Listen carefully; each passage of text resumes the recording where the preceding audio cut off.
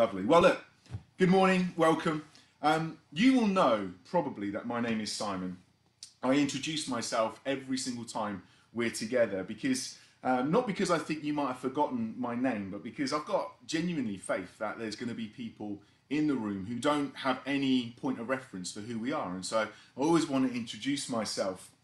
Um, but have you ever wondered why I'm called Simon? Um, I, I haven't until I was preparing for this morning. I thought, I wonder why I'm called Simon. Why did my parents give me that name? So I rang my mum uh, yesterday and I said, Mum, uh, a bit of a random question, I realised, but why am I called Simon? And uh, without really missing a heartbeat, she said, Well, I really like Roger Moore in The Saint. Um, and it's some generation, I haven't got a clue what I'm talking about, but The Saint, Simon Templar, so she said she liked that name. Um, and the name Simon had no negative connotations, so they didn't know anybody that was nasty whose name was Simon, or uh, they never had any trouble with a Simon before. So, um, and if you've ever had to name something, you'll know that it's it actually can be really quite difficult, can't it? Um, so, like I, I, quite like the name Shark. Um, we're not dog lovers or owners, but if we had a dog, I'd like to call my dog Shark. I'd be like, yeah, this is my dog. His name's Shark um, which is fine until you walk him down the beach and you start shouting for him, shark, shark. I mean, it's going to cause pandemonium, isn't it? I mean, it's quite a responsibility when it comes to naming anything. Um, my name apparently means hearer or hearing or listening uh, in Hebrew, uh, but in Greek, uh, it's derived from an adjective meaning flat nosed. So there you go. When it came to naming our kids, so as you know, Fee and I have got three kids we weren't as strategic as looking up the meaning or anything like that. It was more a case of coming up with names that didn't automatically make you think about naughty kids that were either in school or in uh, the kids' church that we we led. Um, and then when we found out we were having a daughter with Katie, the challenge was then finding a girl's name for a girl that I hadn't dated.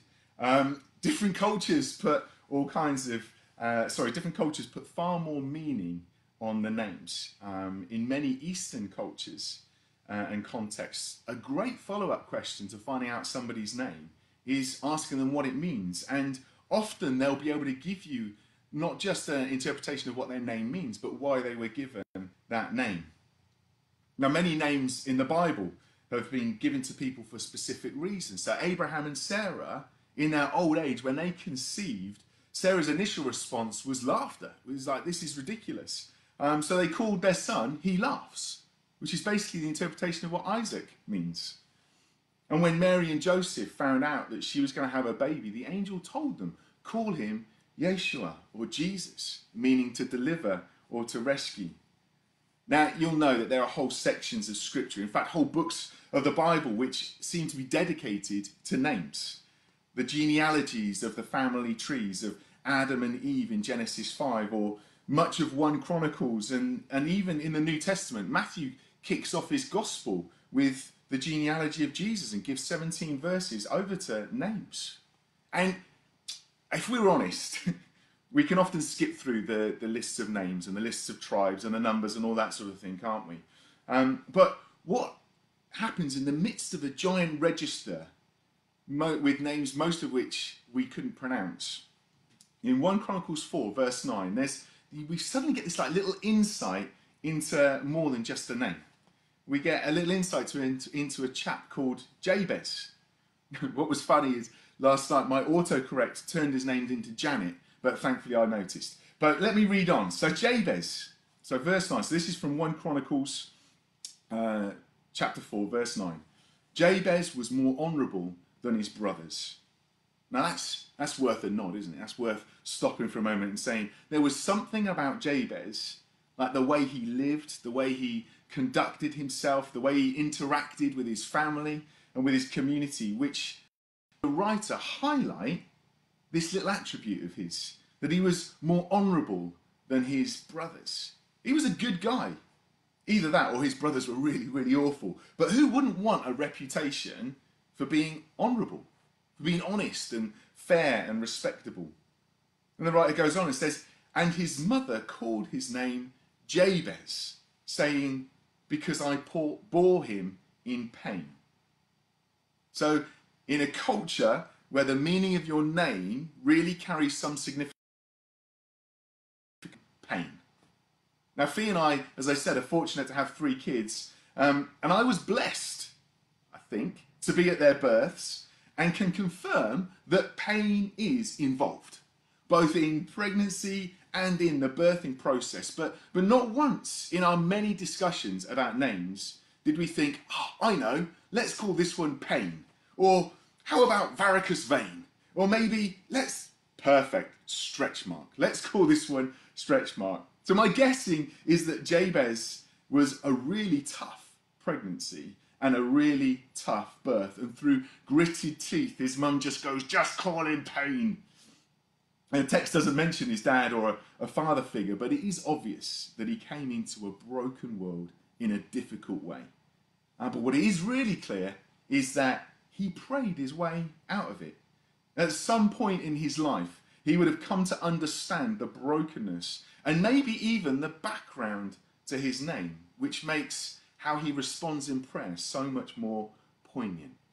In verse 10, Jabez called upon the God of Israel. He prayed.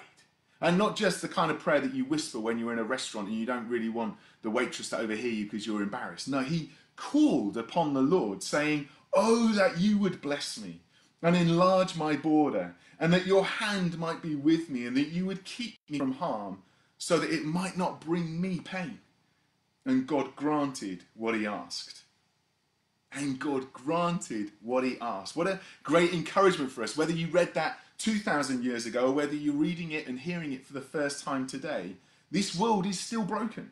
Some would say the brokenness is that much more on display right now. And Paul says in Romans that creation's groaning, it's longing, as in the pains of childbirth, to be set free and to be made whole again.